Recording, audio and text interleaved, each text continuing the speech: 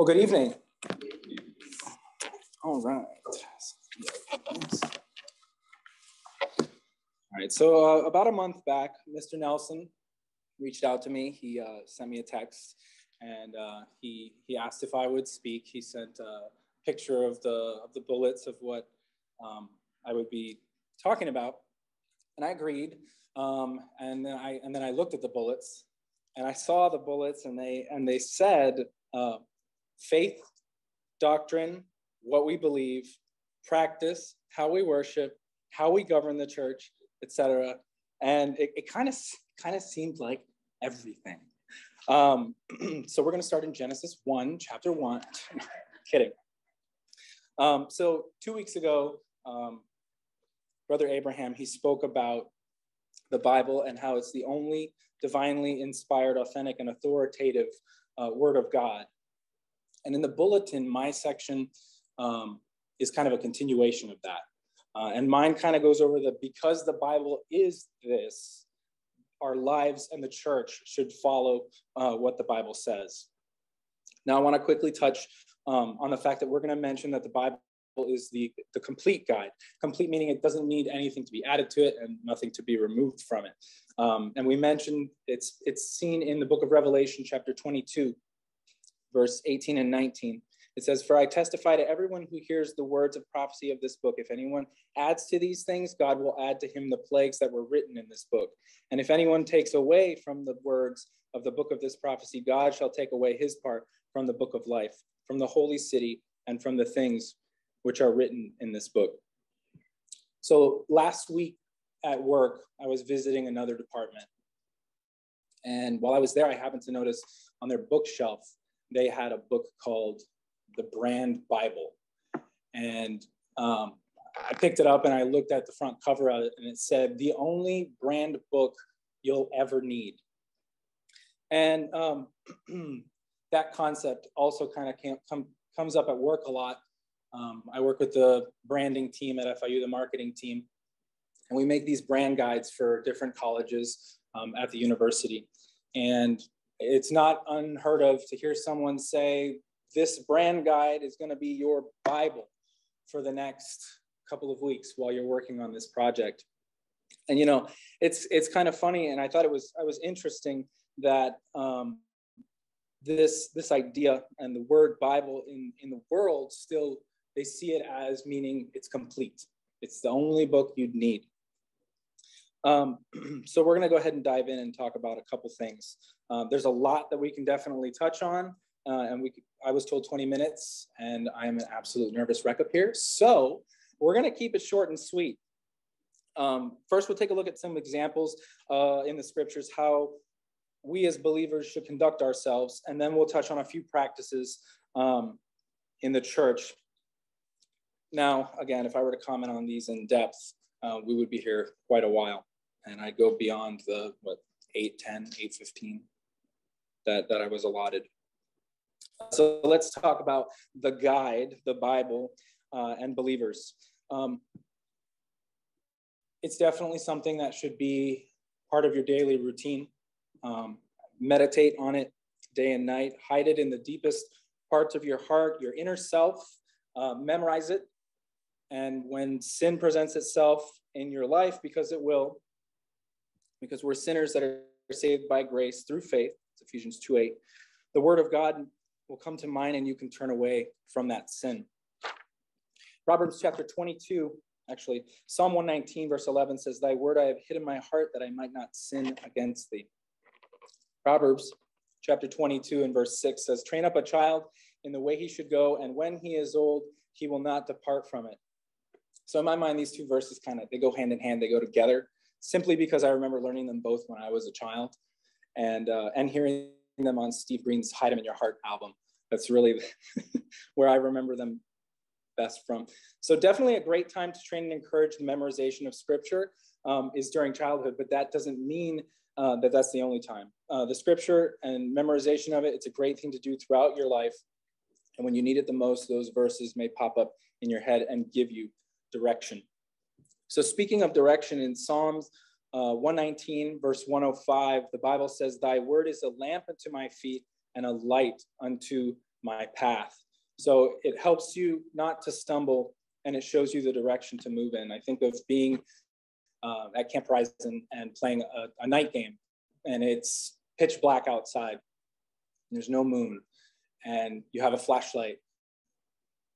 You're going to be putting the flashlight at your feet so you can make sure you're not going to step on anything snakes, whatever it might be, and you're not going to trip over anything. And then at the same time, you're going to show in front of you so you can actually see the direction that you, you want to go. You don't want to end up in the lake. So again, it's, it's, that, it's that guide.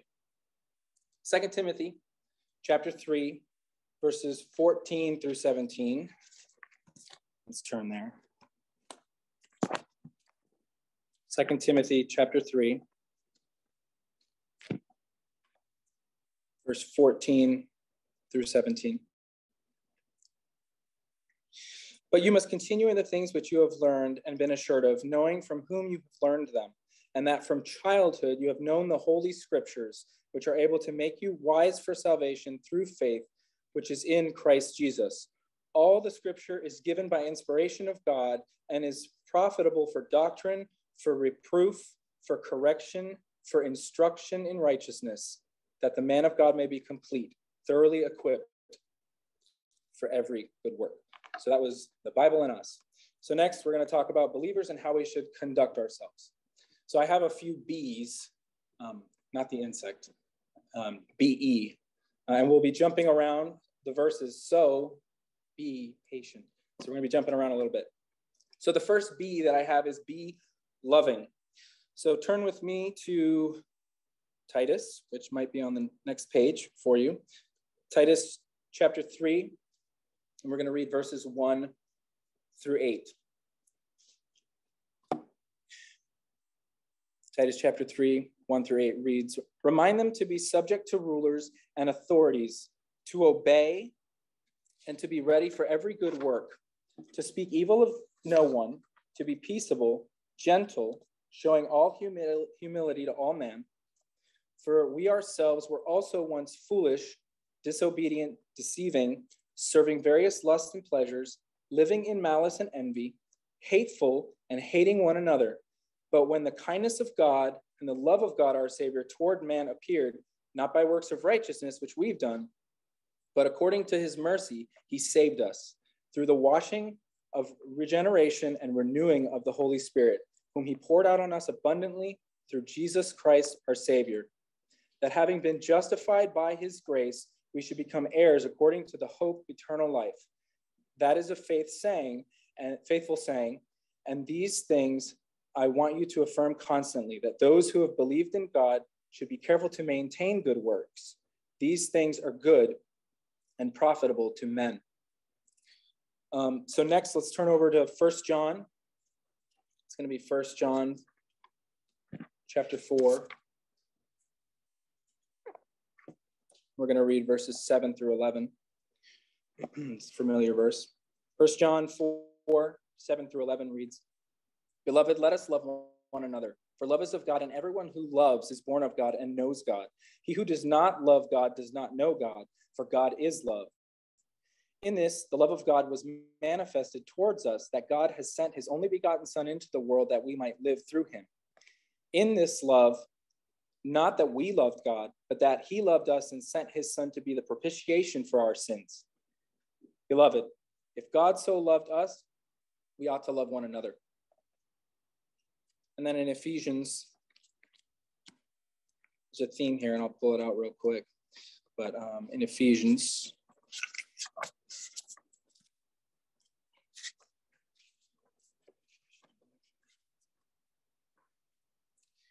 and chapter 4, 29 through 32, Ephesians chapter 4, 29. Let no corrupt word proceed out of your mouth, but what is good for necessary edification, and that it may impart to the hearers. And do not grieve the Holy Spirit of God, by whom you were sealed for the day of redemption. Let all bitterness, wrath, anger, clamor, and evil speaking be put away from you with all malice, and be kind to one another, tenderhearted, forgiving one another, even as God Christ forgave you. Anybody notice? I know there was a lot of reading there, but did anybody notice kind of a pattern that's there? And it's a, another familiar verse that will kind of sum it up. Um, so in Titus, we have, for we ourselves were once foolish, disobedient, deceiving, service, very, serving various lusts and pleasures, living in malice and envy, hateful and hating one another. But the kindness and the love of God our Savior toward man appeared, not by works of righteousness which we have done, but according to his mercy, he saved us. And then we also have in First John, we read at the end, verse 11, it says, Beloved, if God so loved us, we also ought to love one another. Ephesians 4, the end of that one said, Forgiving each other just as in Christ God forgave you. So, despite the fact that we were in a horrible state because of our sin, God still loved us and gave his son to be the propitiation for our sins. And likewise, we're called to show that same love to the others around us. In Romans 5 8, it says, But God demonstrated his own love towards us that while we were still sinners, Christ died for us. And for that, I mean, what an amazing work um, that while we were still sinners, while we were still his, his enemies, that he would do so, something like that for us. So we should, we should be thankful. And so that brings us to be thankful. It's our second beat. And we'll jump over to Psalm 100, because I think that sums it up pretty well. Make a joyful noise unto the Lord, all ye lands. Serve the Lord with gladness. Come before his presence with singing. Know that the Lord, he is God. It is he who hath made us, and not we ourselves. We are his people and the sheep of his pasture. Enter into his gates with thanksgiving and into his courts with praise. Be thankful unto him and bless his name, for the Lord is good. His mercy, mercy is everlasting, and his truth endures to all generations.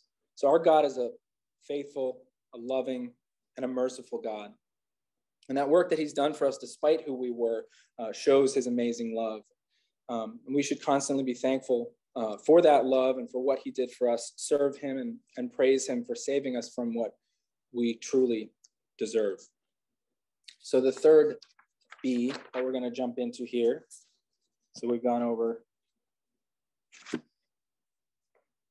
two of them so far. So, it's be ready.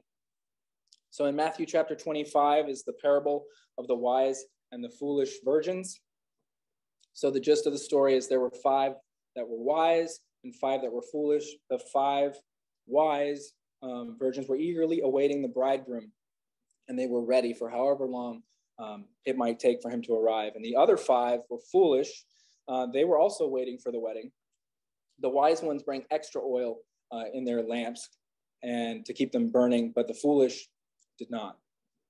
The bridegroom was delayed, um, and the foolish ran out of oil. They asked the wise, "Hey, can you can you give us some of that oil that you brought, that extra?" And the wise said, "No, sorry. Um, then there might not be enough for um, me and you."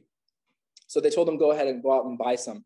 Um, and while the foolish were out trying to buy some of that oil, the bridegroom came. And in the end, the foolish were left outside and when they asked to come into the, the wedding, they, they were refused. So Jesus kind of told, he told this parable to teach about the importance of having that, that oil in our lives, that the Holy Spirit. In Proverbs chapter 14 and verse 12, um, it says, There is a way that seems right to people, but the end thereof is the way of death. So, what does that mean? We can go through the motions of living we can have high morals, we can come to the meetings, we can follow religious practices, we can even say that we're a great person, we're a, we're a fantastic person. And it seems right. But ultimately, if we're not lit up with the light of the Holy Spirit, we're still walking around in our own power, and that's not good enough. All have sinned and fallen short um, of God's standard. So in the book of Romans, in chapter 3, we see that there is none righteous, no, not one. We need the gift of salvation through the work of our Lord and Savior Jesus Christ. There's, there's no other way. And you shouldn't be putting it off. You don't want to be out looking for oil when, uh, for your lamp when the bridegroom returns. So that's be ready. And uh, the next one, while, while we wait, um, be diligent. So this is another parable in Matthew chapter 25, and it's the parable of the talents. So here we have a parable that the Lord is sharing with his disciples, and there's a man who has three servants. And he goes out and he gives the servants a sum of money, talents. And to one he gives five, another two, and then to one of them he gives a single talent. And the servants with five and two, they go out, they trade, they they actually make profit. They double the amount of talents that they were given. And um, when the master's out the last one, he buries his talent in the ground. He doesn't do anything with it out of fear. He kind of just puts it aside. And when the master comes back, I'll just give it right back to him. So when the master returns, he's pleased that the two that had the five and the two talents uh, made profit from the resources that were given to them. And to each of them, he says, well, he says, well done and good and faithful servant. And but the master was upset with the servant who ended up burying his single talent in the ground out of fear. Uh, the master even mentions that it should have at least been put in the bank to gain some interest. So a couple of takeaways. Um, as believers, we're called to use our resources that the Lord has given us to bring him glory and honor. It might be gifts that we have.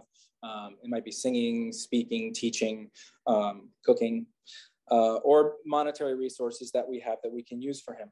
Uh, we also have the Word of God as a resource and the gospel that we can share uh, with others through our words and through our actions. So here we see that this parable, um, we're encouraged to be diligent, good stewards, and not fearful and lazy, just burying the resources that we've been given underground while we wait for our master's return. In uh, Colossians chapter 3 and verse 23 and 24, it says, And whatever you do, do it heartily as to the Lord and not to men, knowing that from the Lord you will receive the reward of the inheritance, for you serve Christ the Lord. In Proverbs 27 23, it says, Be thou diligent to know the state of thy flocks, and look well unto thy herds.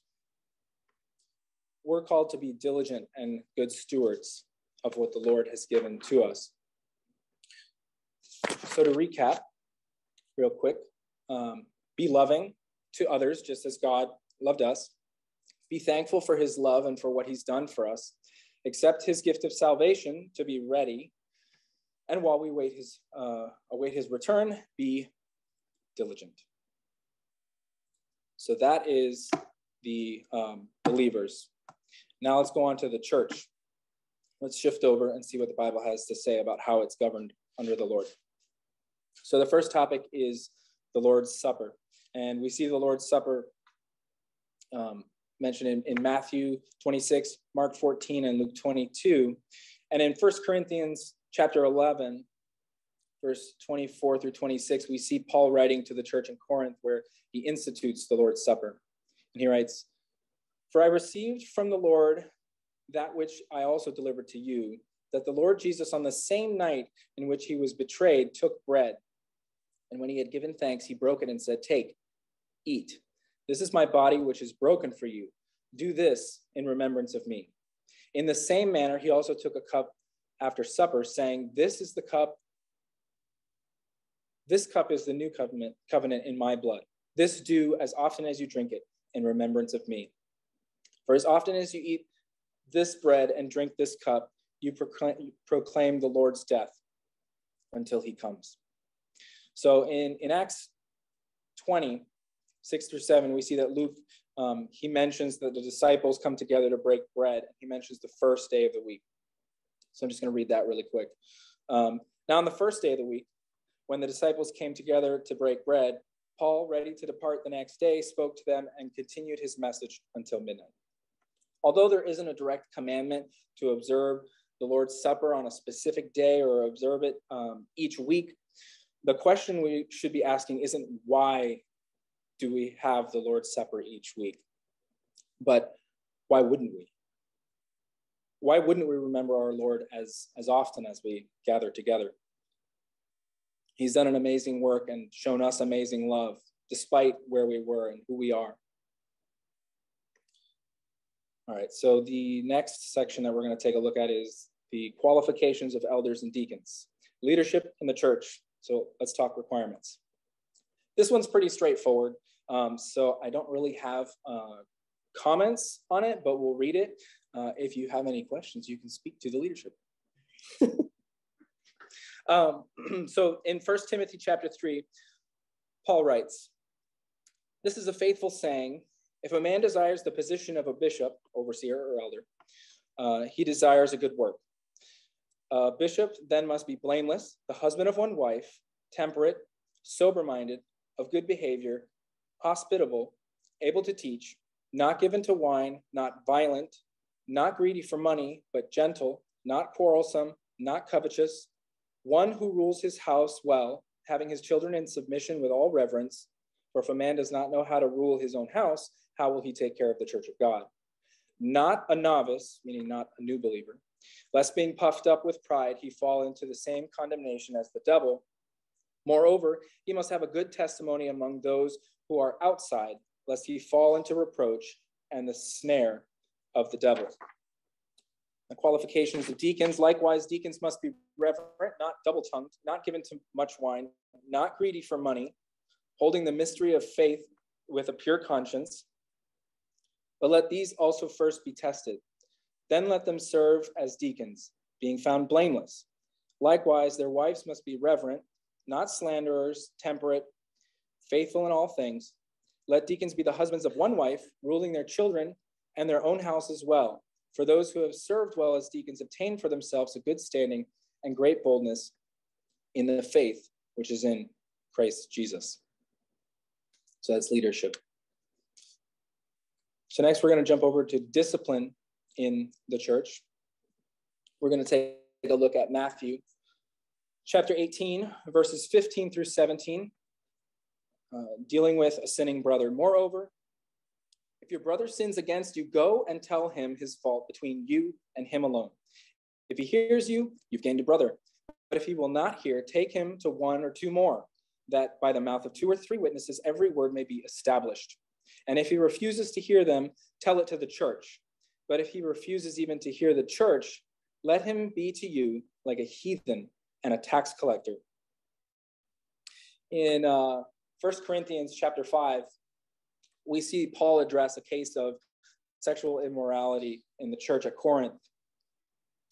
And uh, the church was not dealing with the sin, and it's they seemed unconcerned uh, about the behavior. In fact, they were they were tolerant of what was happening to the point that they seemed proud of it. They thought that by being tolerant of the sin, they were showing love. They knew about the sin, they did nothing about it, and the man that was sinning was not repentant. Paul tells the church to deliver such a one to Satan for the destruction of the flesh, that his spirit may be saved in the day of the Lord Jesus. Paul then addresses the church and uses an illustration to show how just a little bit of sin can corrupt the whole lot. In 1 Corinthians chapter 5, 6 through 8, Paul says, Your glorying is not good. That's in reference to them being proud about their tolerance. Do you not know that a little leaven leavens the whole lump? Therefore, purge out the old leaven, that you may be a new lump, since you are truly, you truly are unleavened. For indeed Christ, our Passover, was sacrificed for us. Therefore, let us keep the feast, not with old leaven, nor with the leaven of malice and wickedness, but with the unleavened bread of sincerity and truth. So, as we mentioned previously, we should be loving, but there must also be discipline when there is something that goes against God's word. The church in Corinth wasn't disciplining, so Paul had to intervene, correct them, and warn them of, what a little sin can do. So I know that this was this is a lot, um, and I and I feel like I moved very quickly. I moved pretty quickly. Um, and there's a lot more that we could go over, but my hope is that we, we got a little glimpse of why the Bible is our complete guide um, and how it gives us guidance when it comes to our daily lives um, and the church. Thank you. So now let's go ahead and close in prayer real quick and then we'll switch over to our loving God and Father, Lord. We thank you so much for this day that you've given us. We thank you for this time that we have to gather together and learn about your word, Lord. We just uh, pray that you would be with us on our daily lives. We pray that you would uh, help us to uh, to love one another, Lord. That we would be ready, that we would be diligent. We just pray that you would uh, be with the, the leadership of the church, Lord. Pray that you would just guide them and direct them. Um, again, Lord, we just thank you for this time that we have together. It's in your name we pray. Amen.